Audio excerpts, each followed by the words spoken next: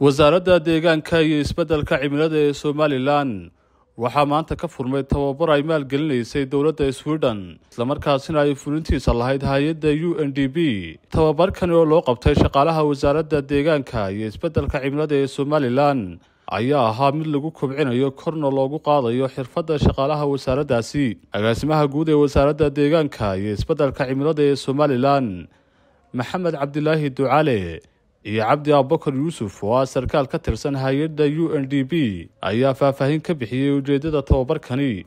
Iyo ahmiyadda uu leeyahay shaqaalaha wasaaradda deegaanka ee somalilan.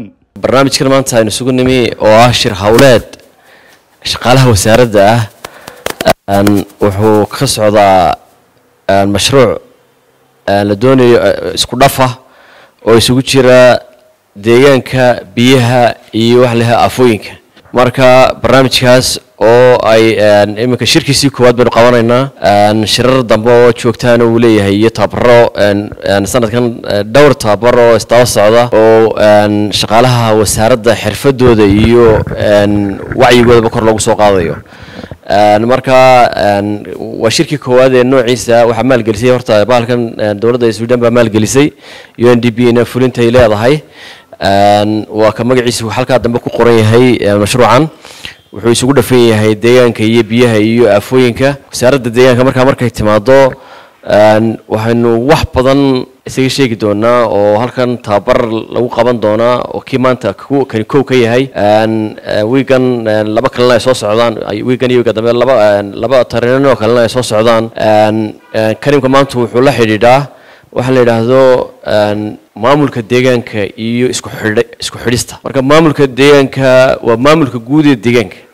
Maamulka guud ee deegaanka markaa waxaa laga hadlayaa deegaanka guud ahaan siyaasadda lagu hagayo barnaamijyada deegaanka hoos yimaada sida matalan loo sameeyo ama qaybaha kala duwan ee deegaanka hoos yimaada. Deegaanka waxaa hoos yimaada noloshoo dhan ba hoos timaada.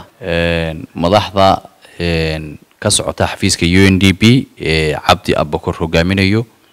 Agaasimo waxeydeyda wasaaradda khubarada tababarka bixinaysa shaqaalaha weynaha wasaaradda deegaanka. Waxaan idin leeyahay dhammaantiin ku soo dhawaada tababarkan. Sidaa uu cabdi sheegay waxaan la yidhaahdo environmental governance ama maamulka deegaanku iminka muhiim bay noqonaysaa. Waayo dee deegaanku sidaa la sheegay laga dhawaajiyey waa nolosheeni. Dhinacii doonto ha noqoto. Marka dee waxaa la yidhi samafurka gurigu ka bilaabma. Haddii madaxdii wasaaraddu aanay aqoon badan u lahayn habkii loo maamuli lahaa ama siyaasado ha laga sameeyo ama strategy ha laga sameeyo waxay la tahay inaan waxba laga qaban karin.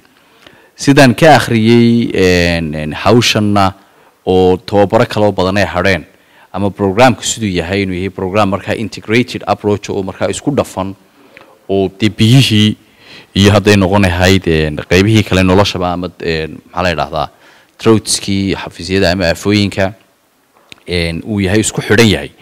Waxaa hadalku nuxurkiisa uu yahay un inagu haddaynu nahay madaxdii ama shaqaalihii weynihii dee dalku sugayay ee la doonayay inay contribution ku sameeyaan sidii deegaankooda wax looga qaban lahaa waxaan u baahan nahay aqoonta ku dheegan ama ku duugan tababaradan oo kale inaynan u imanun dee si niyad samiya ah in looga faa'iistaa loo baahan yahay.